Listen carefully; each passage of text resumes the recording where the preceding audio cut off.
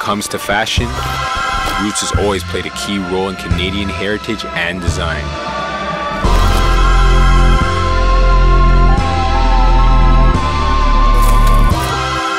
It was important for us to redefine the next chapter in Canadian culture.